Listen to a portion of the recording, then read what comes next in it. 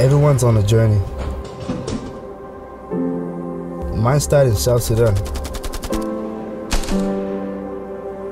My family fled the war when I was three years old.